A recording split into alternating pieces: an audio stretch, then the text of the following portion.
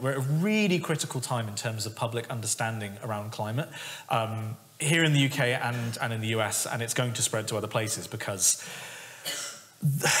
political parties who are opposed to climate change uh, because of vested interests, you know, because of large, large companies um, that are paying people to. It's difficult to say whether they are paying politicians to have these opinions or they're finding politicians who also believe these things and just funneling them money.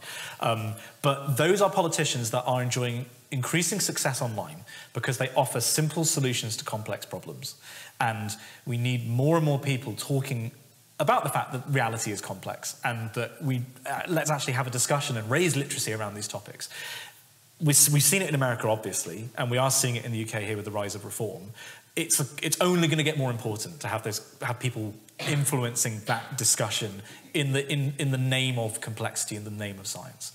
But at the same time, we of course need people who are actually getting boots on the ground and developing new systems and implementing new floating offshore wind or whatever it is.